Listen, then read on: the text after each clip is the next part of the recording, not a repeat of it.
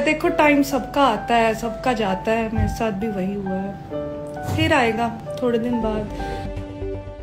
अदाकारा शहनाज गिल सैंडविच खाने पर अस्पताल दाखिल। मारूफ भारतीय अदाकारा और reality show Bigg Boss season तेरह की मकबूल उम्मीदवार। शहनाज गिल अपनी नई फ़िल्म की रिलीज़ के कुछ दिन बाद ही अस्पताल में दाखिल हो गईं। शहनाज गिल की नई film thank you for coming 6 October को रिलीज़ की गई है, जिसमें इन समेत अदाकारा Bhumi Pednekar, Anil Kapoor, social media influencers Kusha Kapila और शिबानी बेदी मुख्तलिफ़ किरदारों में दिखाई देंगी। सोशल मीडिया पर शहनाज की इंस्टाग्राम पर लाइव की जाने वाली वीडियो काफ़ी वायरल जिसमें अदाकारा ने बताया कि उन्हें फ़ूड पॉइजनिंग हो गई थी, लेकिन अब वो पहले से बेहतर हैं। अदाकारा ने इंस्टाग्राम लाइव में कहा, सबका वक्त आता है और चला जाता है, मेरे साथ यही हुआ, मेरा वक्त फिर आएगा। मैंने सैंडविच खाया था, जिसके बायस मुझे फ़ूड इन्फेक्शन हो गया।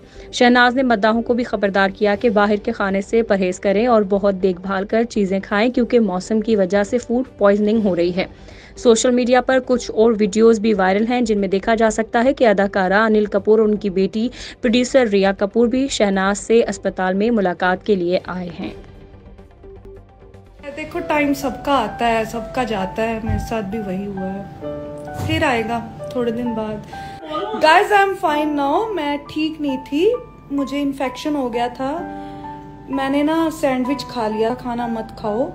इन्फेक्शन हो रही है फ़ूड इन्फेक्शन जो कि मुझे हुई। You are cute I am not cute मैंने फ़िल्टर लगाया है।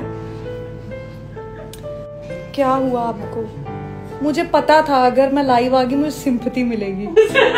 ये मुझे नहीं स्टार न्यूज़ जियो, पाकिस्तान के लिए।